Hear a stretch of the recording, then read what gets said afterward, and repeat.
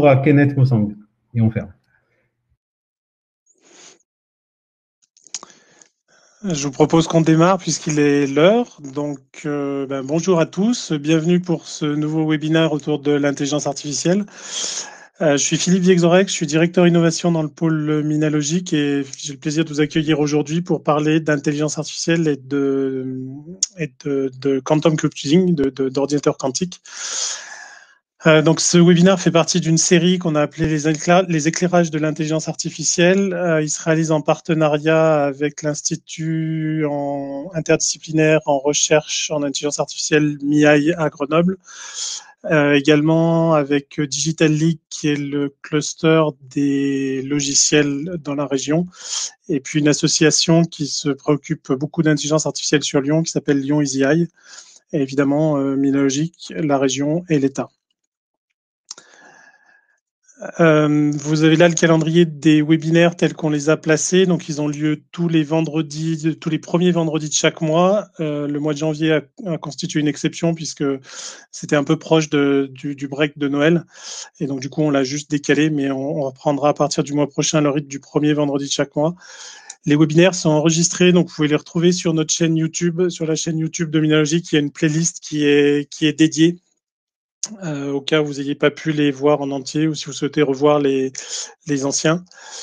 Euh, et puis également, on a mis en place un, un, un portail, une espèce de blog où on, on récupère des les articles, des articles d'opinion sur le sur l'intelligence artificielle dans la région.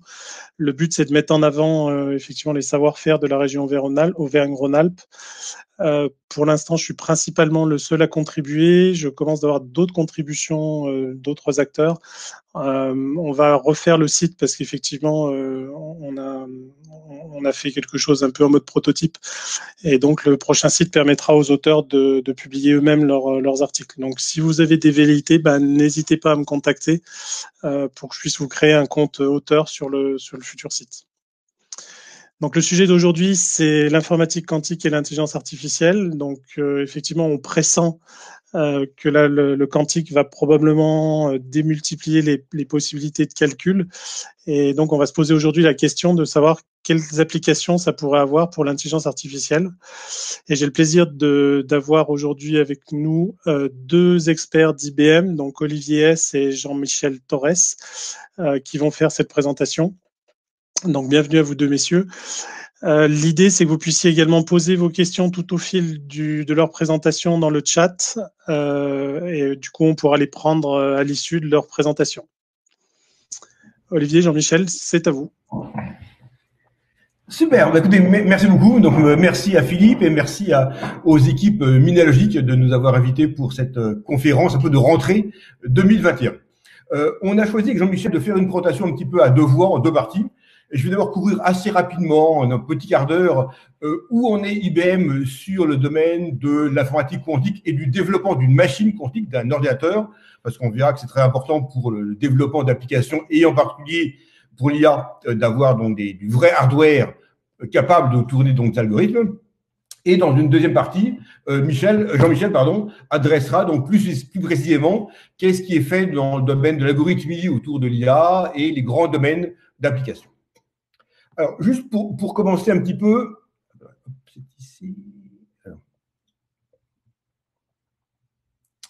Alors, juste pour, vous redonner un petit peu, en quelques mots d'introduction, où en est IBM dans le développement d'une technologie quantique.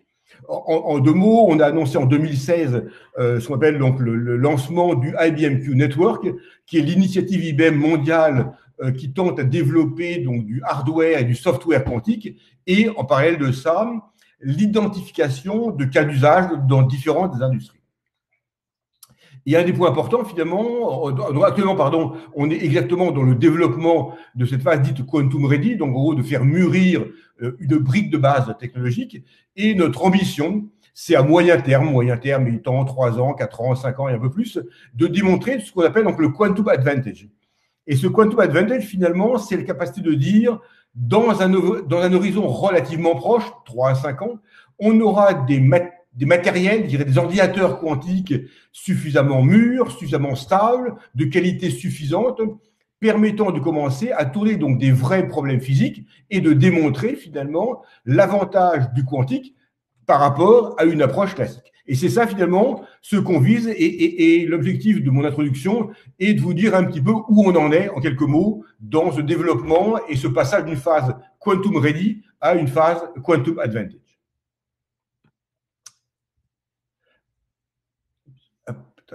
Il y a un petit. Euh, euh, euh, alors, juste un point pour, pour ceux qui n'ont jamais vu, dirais, de, visu une vraie machine quantique. Donc, nous, IBM, on est parti depuis maintenant quelques années sur le développement d'une machine dont les qubits sont dits supraconducteurs, donc des transmones.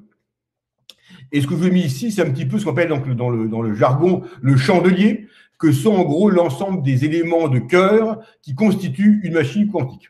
Donc tout à fait en bas, au bout de ma flèche bleue, vous voyez ce petit carré noir qui est le, chip sur lequel sont gravés, résident euh, les qubits. Donc euh, ça, vous avez un système donc à 50 qubits. Tout ce qui est autre dessus, finalement, c'est, pour faire simple, une sorte d'électronique qui va permettre à la fois euh, d'alimenter, d'envoyer aux qubits un signal permettant de les manipuler, et on verra dans quelques instants comment, bien sûr, de récupérer un signal de sortie. Donc ça, c'est vraiment le cœur d'une machine quantique les qubits eux-mêmes étant résidents sur ce petit carré noir.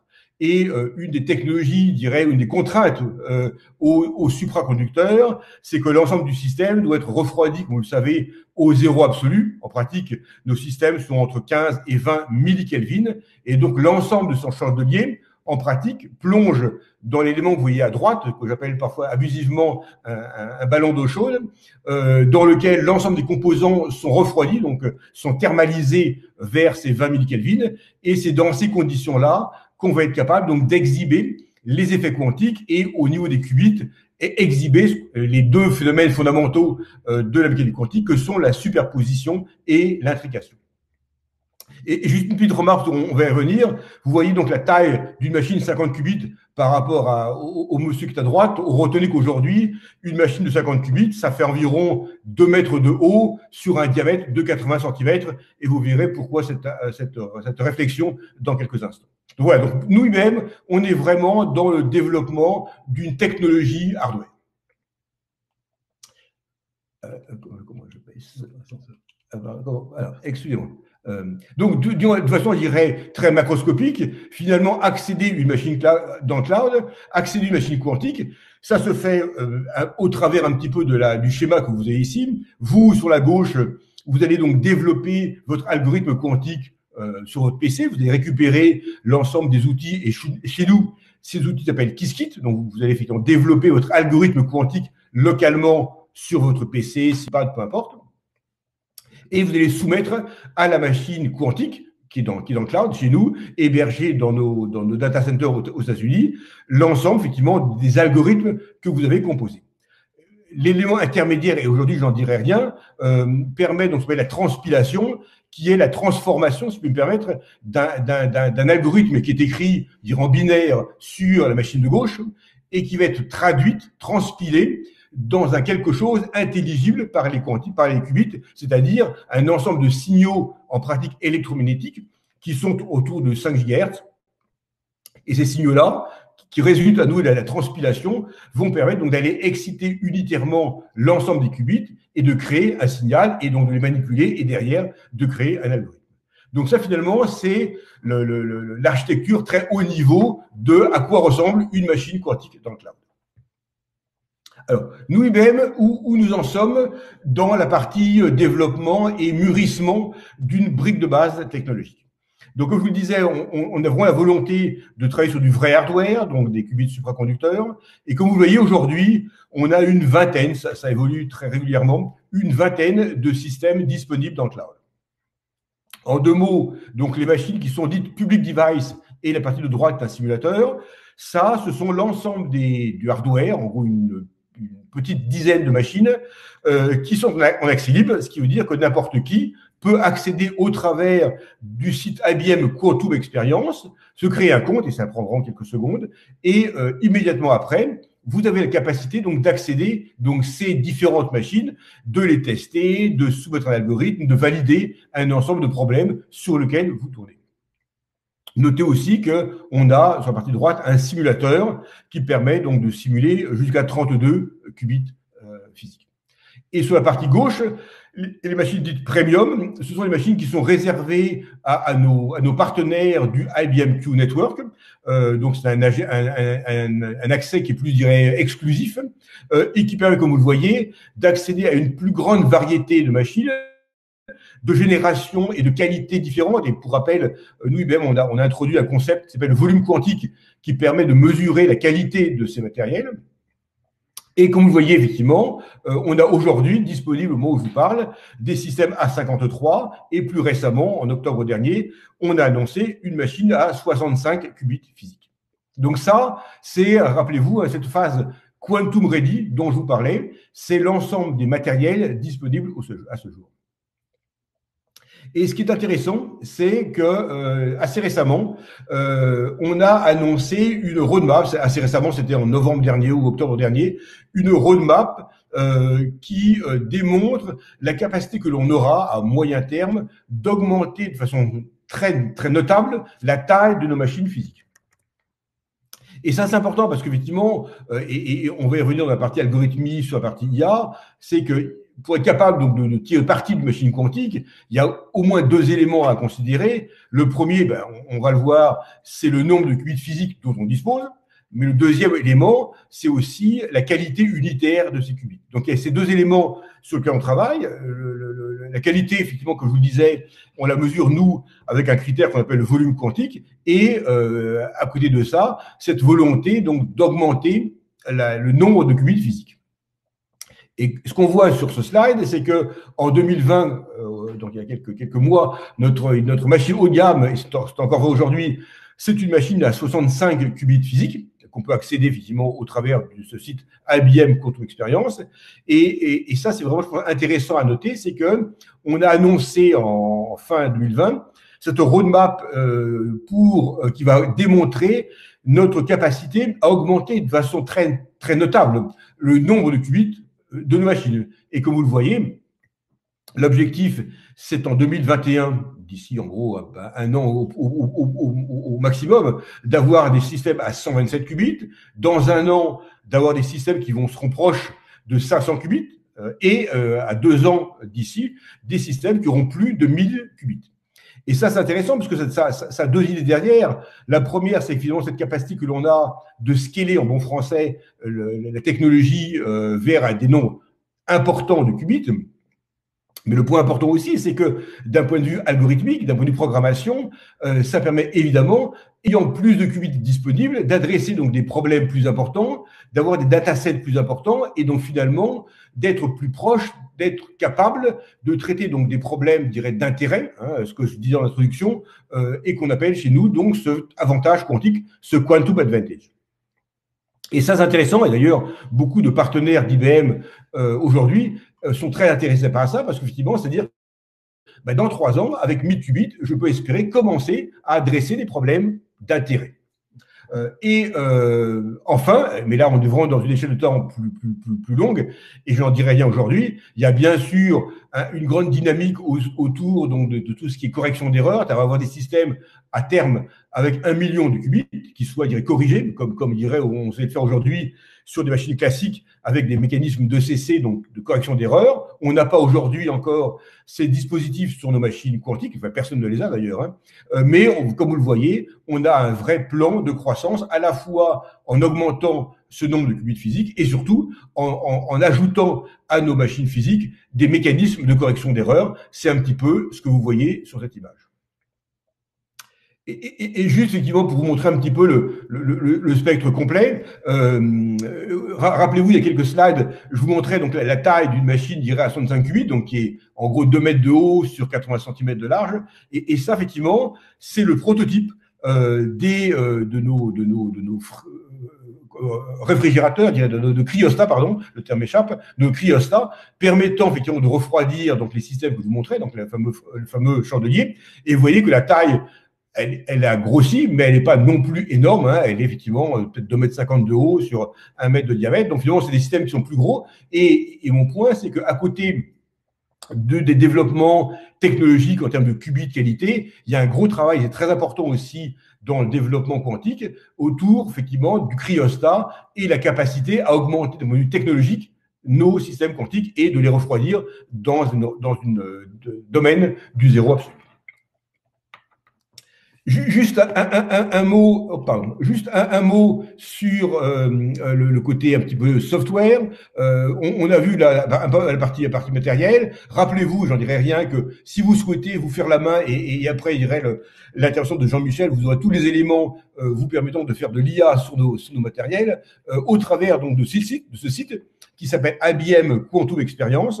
Euh, tapez dans, dans, une barre de recherche IBM Quantum Experience et immédiatement, vous trouvez le lien. À partir de là, vous créez un compte et vous aurez accès à l'ensemble des outils, le fameux KISS-Kit de développement euh, quantique chez nous. Et bien sûr, derrière, vous l'avez compris, l'ensemble des euh, matériels euh, euh, vous permettant donc d'accéder physiquement à ces machines.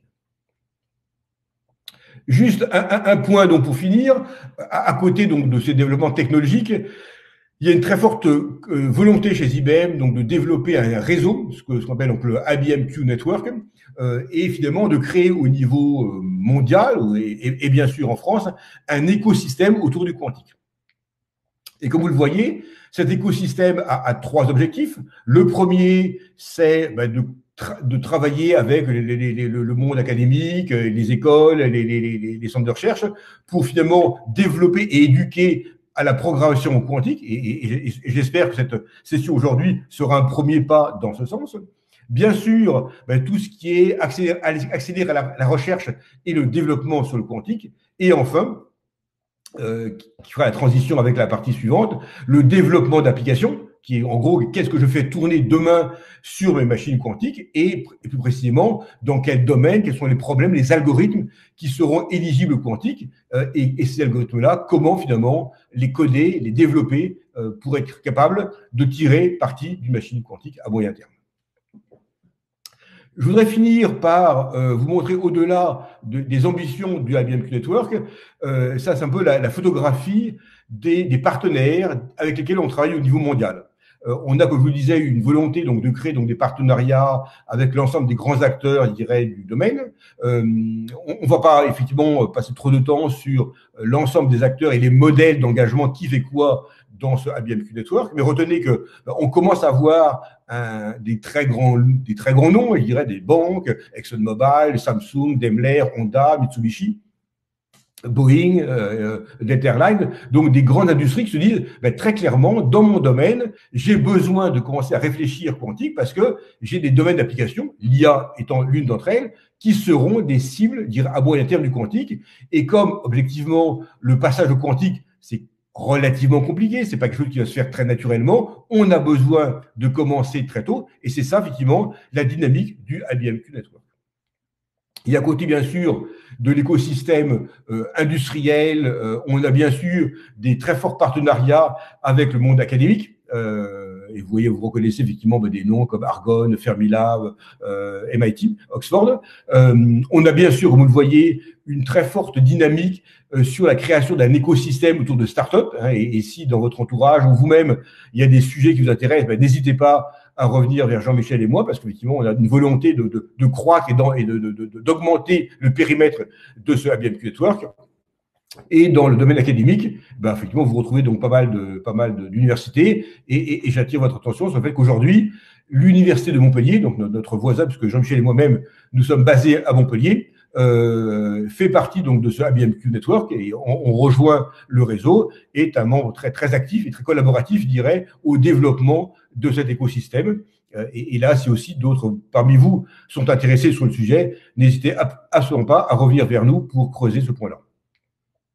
Je voudrais conclure euh, cette partie-là en vous disant que voilà, vous avez, vu en, quelques mots où IBM nous en sommes sur le développement de cette technologie matérielle, software, je dirais, la partie algorithmique. Qu'est-ce qu'on fait? Vous Je vous rappelle qu'on a une vingtaine de systèmes dans le cloud. On a environ 130 partenaires au, niveau mondial. Euh, je rappelle à nouveau que la partie KissKit, qui est cet environnement développement dans lequel vous trouverez beaucoup de choses autour de l'IA et de l'algorithmique quantique, c'est une brique de base qui est open source, vous permettant d'accéder effectivement euh, enfin, de, la récupérer parce que c'est open source chez vous, de commencer à vous faire la main euh, et, d'être, je dirais, la, première brique de base vers une application et de développement d'algorithmie quantique. Je vais m'en arrêter, je vais arrêter là. Donc, j'ai fait vraiment un survol. Il y aurait beaucoup de choses à dire, mais j'espère qu'on aura l'occasion de, poursuivre ces discussions aujourd'hui ou dans les jours et semaines à venir. pour vous donner un survol de où nous en sommes IBM sur la partie développement technologique, hein, cette phase quantum ready, et je vais passer la parole donc à, Jean-Michel, euh, qui fait aussi partie donc du centre quantique de Montpellier, qui va plus précisément revenir sur le sujet de l'IA. Merci beaucoup et à tout de suite.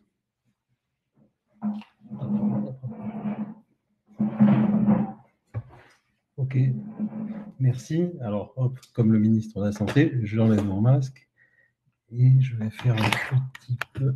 Ok. Donc merci Olivier pour l'introduction générale. Alors effectivement, il me revient de, de, tenter de brosser euh, ce qu'on peut dire aujourd'hui et demain euh, du, du, domaine, enfin du sujet de l'intelligence artificielle avec l'informatique quantique. Alors oui, les deux sont des buzzwords euh, et, et attirent beaucoup, interrogent beaucoup avec ce qu'on sait ou ce qu'on croit savoir dans le domaine du quantum computing, et puis ce qu'on sait, parce que bon, l'IA est un domaine d'innovation, mais qui est aujourd'hui déjà en production et utile. Et, on, a besoin de, comprendre quelles sont les relations entre ces deux champs d'exploration ou ces champs d'innovation. Euh, le, le, préambule, c'est qu'on sait aussi que le, machine learning est consommateur, on, y reviendra, est consommateur de temps de calcul, et on va beaucoup parler en fait de ça, de, cette notion de, de calcul, euh, plutôt que d'application et de business. Voilà. Ça peut être un peu précis par moment, mais voilà. Euh, euh, donc j'enchaîne. Voilà. Alors, un des, attendus, comme je viens de le dire, du calcul quantique, c'est euh, la possibilité, du point de vue de la science de l'algorithmique, à accéder des, des problèmes qu'on ne sait pas traiter aujourd'hui. Alors, des problèmes qu'on ne sait pas traiter aujourd'hui, il y a beaucoup d'exemples en combinatoire. On vient très vite sur des problèmes dont le, temps de traitement est exponentiel euh, par rapport à la, taille du problème. Et, donc, on ne sait pas les traiter. On, ne sait pas faire une revue de, euh, Quand on fait factoriel 50, on ne sait pas faire une revue de tout de factoriel 50K. Alors que le paradigme de l'algorithme de, de, la machine quantique, c'est que dans n qubits, on peut, on peut coder 2 puissance n états. Euh, et, donc, on a, il se prête bien un peu à cette dimension exponentielle, l'ordinateur quantique. Alors, on peut penser avoir l'ordinateur quantique comme un accélérateur parce qu'on pense qu'il va calculer plus vite. Alors, c'est un peu plus subtil. Il va plutôt rendre possible des choses qui n'étaient pas atteignables, comme je viens de l'expliquer. Un problème de dimension exponentielle, ben, on ne le fait pas, tout simplement. On ne va pas attendre 1000 ans euh, le résultat d'un calcul. Donc, il, il, faut plutôt le voir comme ça. Alors, certains regardent aussi la notion euh, de, de parallélisme. On reviendra un petit peu là-dessus, euh, un tout petit peu. Bon, moi, je vais tenter donc d'expliquer en quelques points en quoi euh, ces paradigmes ou ces espérances de, du calcul quantique, euh, en quoi ils ont à voir avec le, avec l'intelligence artificielle. Alors, je vais revenir sur un tout petit point. Olivier vous a montré les machines. Et puis, euh, le mois dernier, dans cette conférence, j'ai appris que on avait un, benchmark qui était à 2 picojoules par événement synaptique en, en, machine learning, enfin dans un réseau de neurones.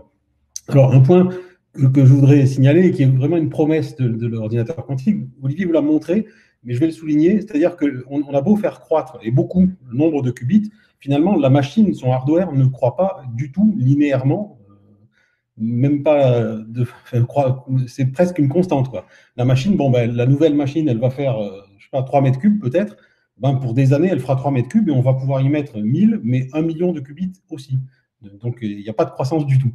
Et, et, et, là, vous pouvez penser, et c'est vrai, que ben, la puissance électrique dont on aura besoin, que ce soit pour 1000 ou 1 million de qubits, qu'elle fonctionne ou qu'elle ne soit pas en fonctionnement, en fait, c'est à peu près égal. Donc la promesse du calcul quantique, une des promesses du calcul quantique, c'est ça aussi. C'est-à-dire qu'on n'a pas besoin d'avoir des mégawatts de, machines. Avec 100 kilowatts, on fait une machine comme vous l'a montré Olivier. Voilà, c'était une parenthèse et un, rappel de la discussion du mois dernier. Alors, je, vais maintenant me diriger vers, euh, vers le machine learning. Alors, avant, et Olivier vous l'a dit aussi, on, travaille sur le hardware, mais aussi avec l'écosystème de IBM Quantum Network, on travaille beaucoup sur évidemment l'ingénierie logicielle, le développement de, briques logicielles. Et ça, c'est dans Qiskit. Donc Qiskit, c'est notre environnement de développement open source que l'on travaille avec Python comme langage et qui permet de, créer des, algorithmes et de les envoyer euh, à l'exécution sur nos machines dans le cloud. Et Qiskit a euh, un certain nombre de composants. Un des gros composants, euh, c'est ce qui est marqué en tête de, la, slide ici, s'appelle Aqua, et c'est le composant qui commence à fournir de l'abstraction. C'est-à-dire qu'on parle de qubits, on, a beaucoup déconstruit, et, c'est vrai que le paradigme, enfin, il n'y a pas de, il n'y a pas de traduction euh, d'un algorithme, d'un langage dans un autre. Il faut repartir dans des, dans des, bases euh, vraiment très bas. Il faut comprendre ce que c'est un qubit, comprendre ce que c'est que le, paradigme du calcul quantique. C'est absolument différent du calcul tel qu'on l'entend en, classique.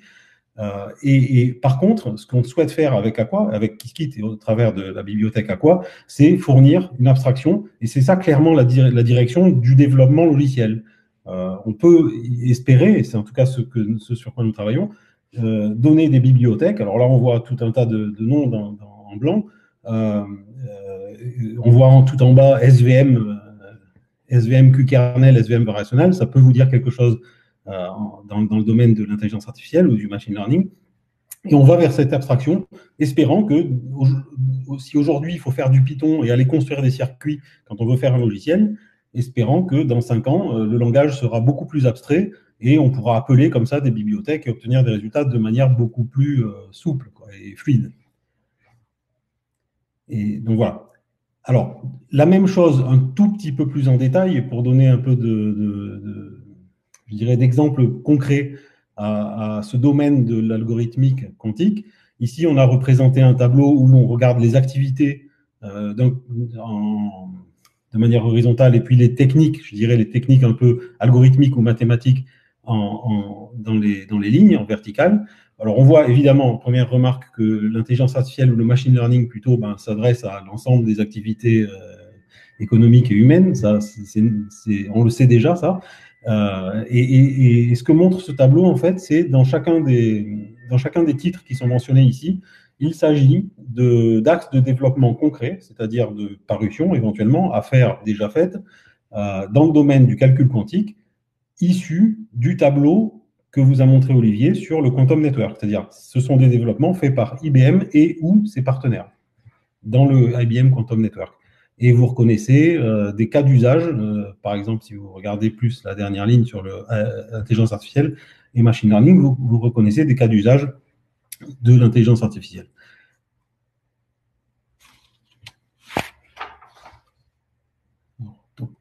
Pas alors voilà.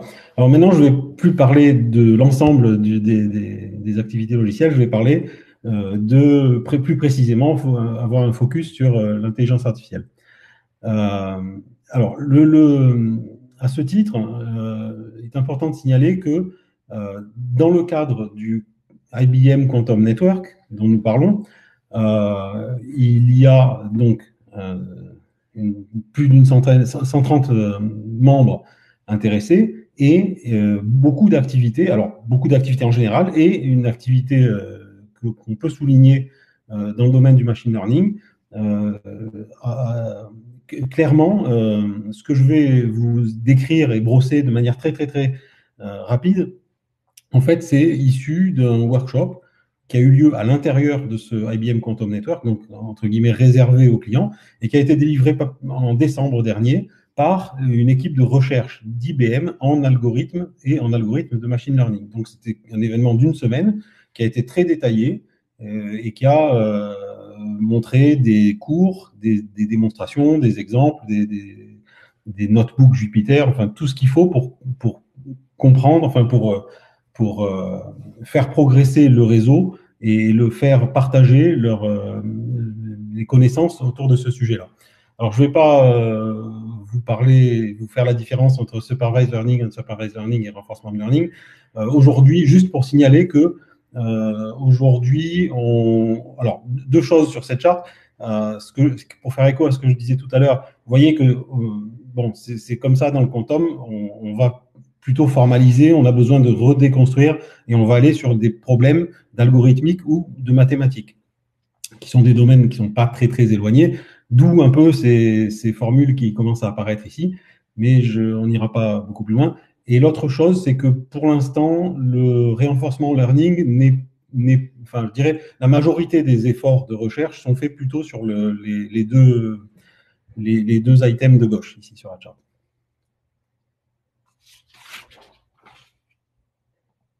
Alors, ça, c'était une manière, euh, ces trois classifications, c'était une manière classique de voir le, problème du machine learning. Il n'y avait rien de, rien de quantique dans la, page précédente. Il y a une autre manière, on peut voir le paysage d'une manière un peu différente et un peu originale, je dirais, euh, de ce qu'est le quantum machine learning. On peut le voir comme ça en quatre catégories. Et alors, un petit tableau euh, qui dit, bon, ben, est-ce que le problème qu'on traite est classique, ceux dont on a l'habitude, les problèmes dont on a l'habitude, je veux dire, ou bien est-ce que le problème qu'on traite est un problème de type quantique, et puis est-ce que je le traite avec un algorithme classique ou bien avec un algorithme quantique? Et on a les quatre catégories. Donc, comme je vous disais, c'est une manière un peu différente de, voir le paysage. Alors, tout d'abord, il y a euh, en blanc euh, un problème classique traité avec une machine classique. Alors, vous me direz, ça n'a rien à faire là. Si, il y a, et je reviendrai tout à l'heure sur un exemple un peu fameux, euh, il y a ce qu'on appelle les, algorithmes inspirés par le domaine quantique. Alors, comme, on vous dit depuis quelques minutes, la recherche, algorithmique et mathématique autour de l'algorithme quantique est très, active. Eh bien, il arrive que dans le cadre de cette recherche, on, dans le cadre du quantum computing, eh bien, il arrive que on trouve par effet de bord ou par effet collatéral bénéfique, eh bien, on trouve quelque chose qui peut en fait se déquantiser, comme c'est marqué là très poétiquement, et s'appliquer finalement euh, avec une machine classique. C'est-à-dire qu'on fait un progrès juste sur la science algorithmique et on réalise que ce qu'on est en train de rechercher pour le quantique, eh ben, on peut en bénéficier tout de suite sur des machines classiques et on va améliorer euh, l'efficacité de nos algorithmes classiques. C'est normal, c'est de la recherche en algorithmique. On cherche, on arrive à trouver. Je vous montrerai un tout petit exemple. Enfin, je reviendrai sur un exemple comme ça. Ensuite, il y a euh, Classical for Quantum. Alors là, on utilise des machines classiques pour traiter des problèmes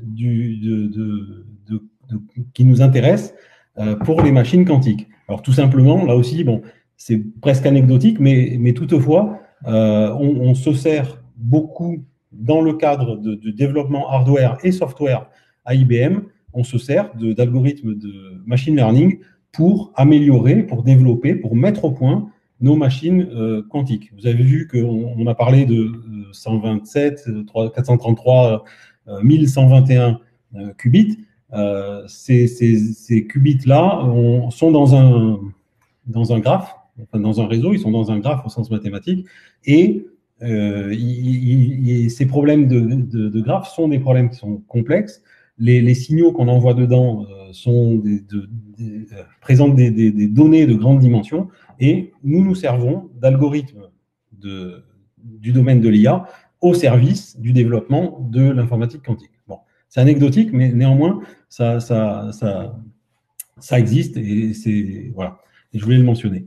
Ensuite, bien sûr, la case, euh, la case en bleu où on utilise des ressources d'algorithmes quantiques pour traiter des problèmes classiques, c'est ce à quoi on, parle en premier et c'est ce à quoi on s'attend de discuter euh, quand on parle d'IA et de machine et de quantum computing. Et on va, on va revenir sur des cas, euh, ça va faire même à peu près l'objet de tout ce que je vais raconter après, sauf un en blanc.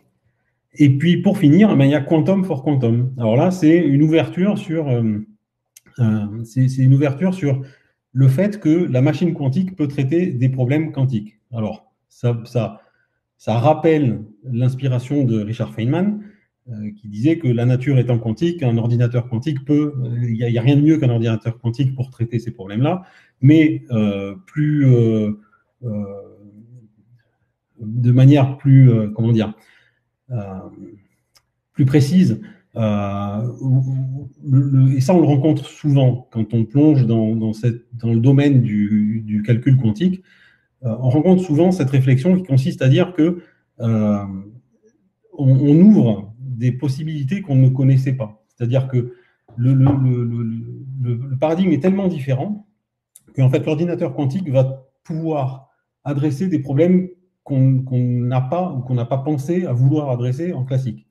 Alors, c'est, euh, on a une phrase à IBM qui me revient souvent, c'est il faut pas, euh, faut pas réfléchir de manière classique. Bon, et plus après, plus prosaïquement, un, exemple, un exemple que je connais, euh, c'est quantum hardware modeling. Alors, c'est plutôt le fait que, par exemple, pour ce que vous a expliqué Olivier, vous travaillez votre programme quantique, vous l'envoyez vers la machine quantique, vous travaillez ça sur votre laptop, eh bien au milieu, on vous a montré le transpiler.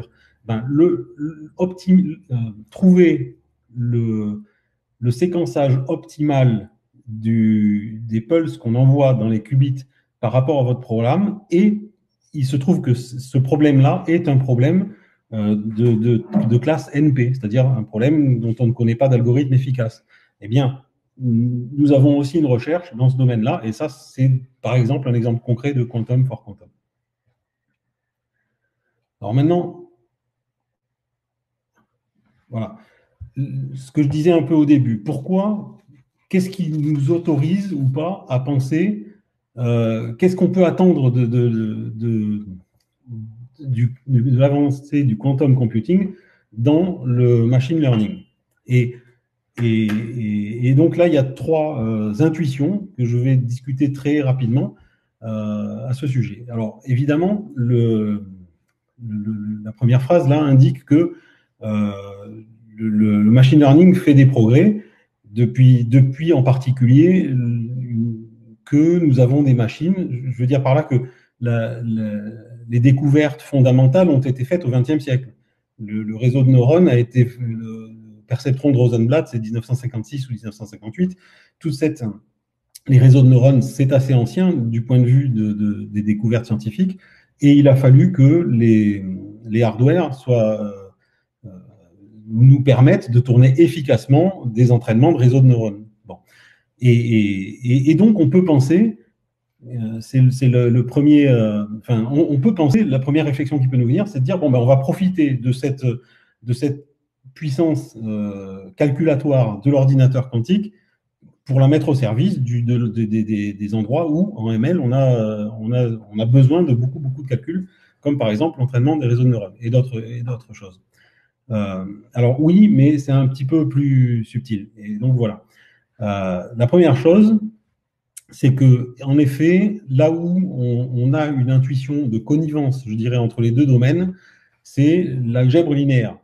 Quand on regarde ce qu'est un circuit euh, quantique, en fait, un circuit quantique, c'est une, c'est un opérateur unitaire, donc c'est une matrice appliquée à un vecteur. Alors, une grande matrice appliquée à un grand vecteur, mais c'est de l'algèbre linéaire. De la même manière, le machine learning fait beaucoup appel aussi aux techniques d'algèbre linéaire. Alors, quand on parle de BLAS ici, on parle de Basic Linear Algebra Subroutines, donc c'est un ensemble euh, de, de, techniques d'algèbre linéaire.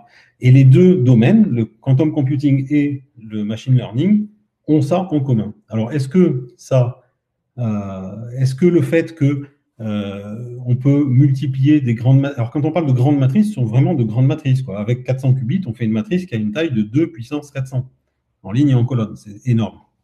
Alors, est-ce que la multiplication de matrices, l'inversion de matrices, euh, les résolutions de systèmes linéaires, tout ça, toute cette algèbre linéaire-là euh, permet de faire efficacement, d'être au service efficacement du machine learning?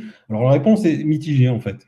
Alors oui, euh, on, verra juste dans la page d'après que euh, oui, il y a des résultats qui disent que, en effet, bien sûr, on peut faire ces opérations-là de manière exponentiellement plus rapide avec un ordinateur quantique par rapport à un ordinateur classique. Quand on dit exponentiellement plus rapide, c'est euh, le Graal. C'est-à-dire que quelque chose qui n'était pas possible devient possible. Alors oui, on peut le faire. Par contre, on, le fait, enfin, il y a un, mais, euh, et le, mais, c'est euh, le chargement des données. C'est-à-dire comment charger ce fameux vecteur d'entrée, comment charger les, valeurs dans la matrice.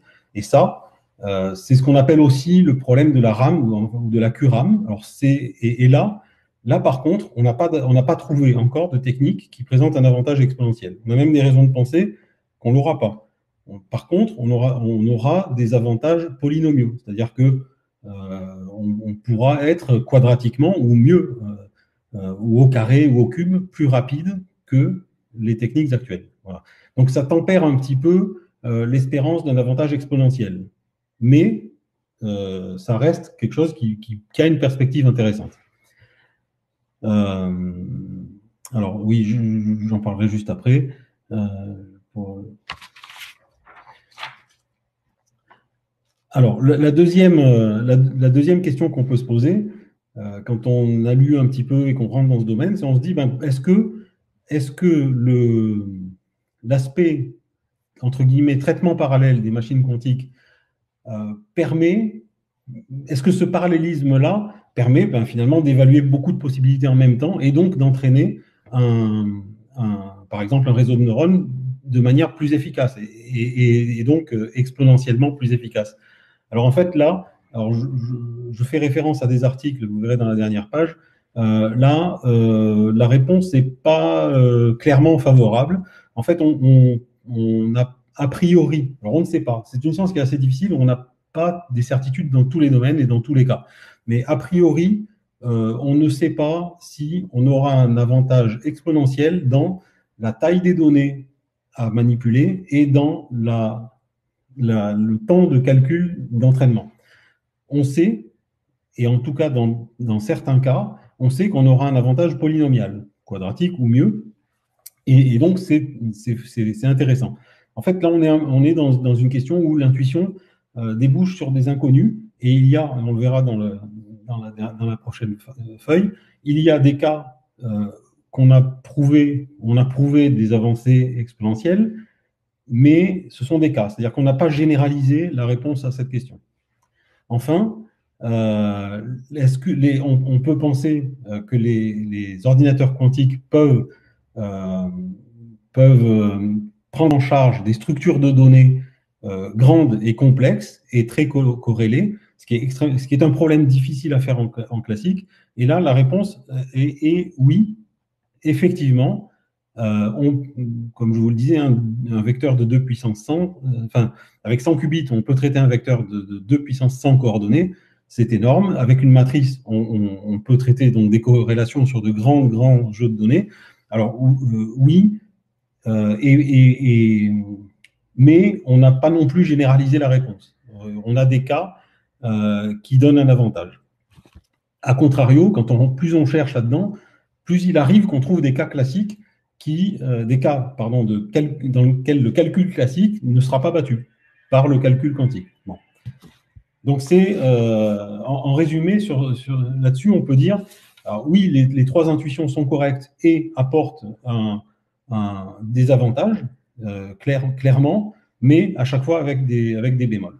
Alors pour terminer, je voudrais vous ramener à des cas un peu plus concrets après cette discussion euh, un peu générale sur les intuitions qu'on peut avoir. Euh, ici. Donc voilà.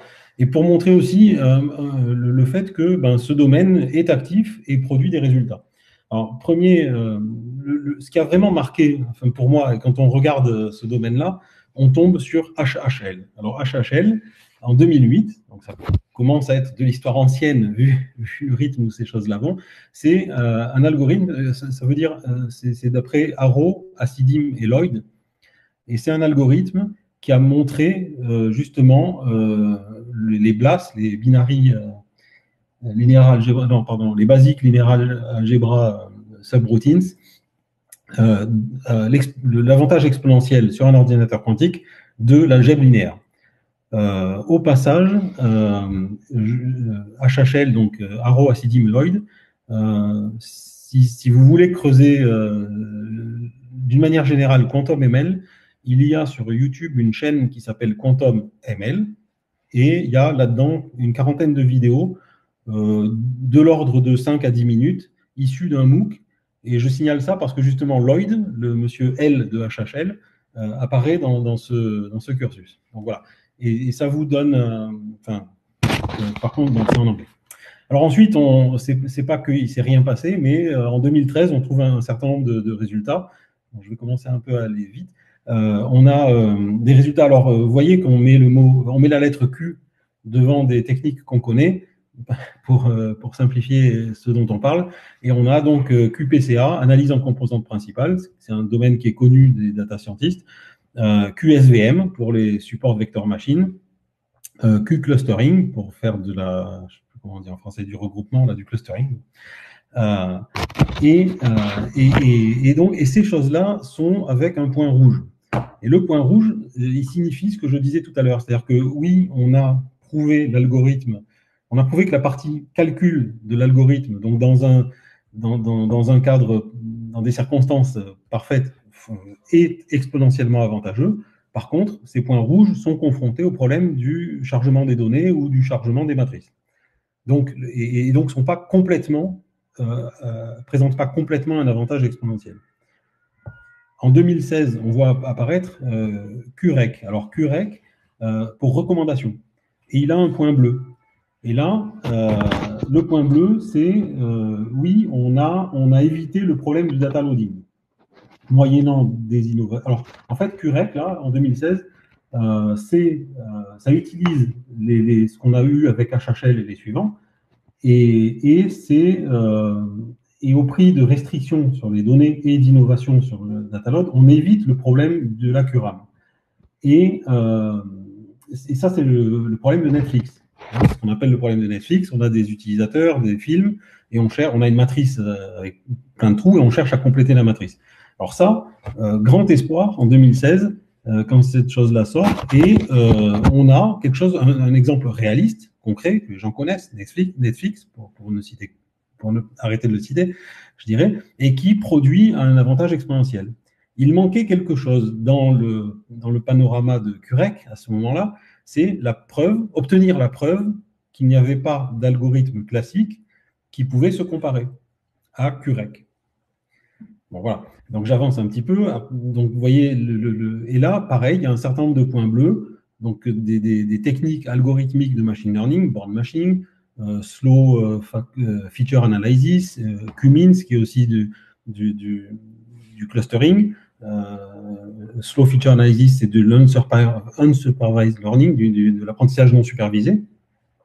Et vous voyez apparaître les points bleus plus que les points rouges. Et les points bleus sont des cas comme ça, un peu comme QREC, où euh, de manière moins générale, mais euh, je dirais plus particulière, donc on trouve des algorithmes euh, qui, sur lesquels on, a, on démontre des avantages, parfois exponentiels, parfois polynomiaux, mais qui ne sont pas liés au problème de Curam. Et donc, ces, problèmes, ces, points bleus, et on voit que le, passé récent, là, depuis cinq ans, euh, les gens travaillent plus dans un paradigme de dire euh, je vais chercher ce, qu'on peut faire sans le problème de Curam, sachant que le problème de Curam, lui, il est travaillé par ailleurs. Mais qu'est-ce qu'on peut faire sur les ordinateurs du, court terme, je dirais, euh, au sujet des algorithmes de machine learning et on voit donc qu'il y a une tendance comme ça avec les points bleus. Alors maintenant, je vais parler pour terminer euh, ça, et on pourra passer aux questions, euh, je, vais parler du point vert qui est au milieu. Et, alors, c'est assez intéressant. En fait, c'est QREC Speedup Dequantized. Donc, on reprend QREC, on est en 2018. En 2016, on avait prouvé des tas de choses, sauf que il n'y avait pas d'algorithme classique euh, qui permettait d'égaler un algorithme quantique, celui qui avait été monté en 2016.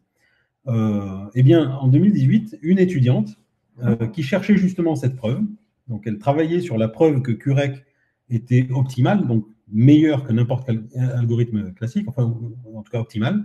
Eh bien, en, faisant ce travail-là, elle trouve donc ce qu'on appelle un quantum inspired, la case blanche du début de, ma prise de parole. Elle trouve un algorithme classique, polynomial, qui, euh, qui applique euh, les ce qui avait été trouvé dans QREC. Donc, déception parce que euh, on a un algorithme classique polynomial, on perd l'idée d'avoir un avantage exponentiel sur ce, sur ce domaine-là. Euh, alors, il, n'en reste pas moins que, si j'ai bien vu faire, l'algorithme polynomial, il est en puissance 60. Alors, puissance 60, c'est quand même quelque chose qui croît assez vite. Mais voilà, si vous voulez, on est dans, un peu des mathématiques un peu formelles, donc ben, puissance 60, ce n'est pas exponentiel. Voilà. Là-dessus, c'est à peu près le tour de ce que je voulais décrire sur cette, timeline-là. on voit, ce qu'on voit, c'est ce changement de, focus, enfin cette évolution vers ce que j'ai appelé les points bleus, c'est-à-dire les, algorithmes sur lesquels on peut obtenir quelque chose en pratique euh, qui, évite le problème du chargement en mémoire. Euh, voilà. Et, en conclusion, finalement, euh, de, tout, ce que je vous ai, essayé d'indiquer, vous voyez qu'aujourd'hui, la, bon, la recherche est active, j'imagine que, vous, en doutiez.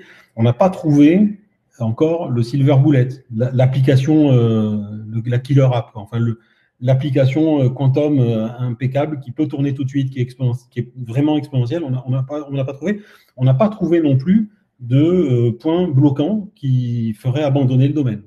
Au contraire, on trouve de manière très active et assez fréquente beaucoup de résultats. Alors, je conclus ici. Euh, en vous indiquant quelques articles euh, qui font référence à ce que j'ai raconté, euh, si vous voulez aller plus loin. Mais surtout, si vous devez garder un message, si vous avez envie de, si vous avez besoin d'aller plus loin, le, vraiment, c'est kisskit.org. Alors, kisskit.org, c'est là où il y a Kisskit. Vous voyez que c'est org, donc c'est open source. C'est le système sur lequel s'appuie IBM. Et là-dedans, vous allez trouver de manière très progressive c'est-à-dire du, pur débutant jusqu'à, bon, là j'ai pris la photo de Hybrid Quantum Classical Neural Network with PyTorch and Qiskit. Donc là, vous avez beaucoup, vous avez des, des, ressources, je trouve vraiment très bien faites, très honnêtement, euh, avec des explications. Euh, c'est très progressif, ça permet de débuter et d'aller assez loin, et avec des exemples, donc des Jupyter Notebook que vous pouvez tourner localement, ou bien, comme vous a expliqué Olivier, en accédant les simulateurs et les machines d'IBM. Il y a aussi avec Kisskit.org une chaîne YouTube dans laquelle vous pouvez trouver des heures et des heures de conférences euh, et de cours sur euh, l'algorithmie quantique. Merci beaucoup Jean-Michel. J'étais au bout de ta présentation?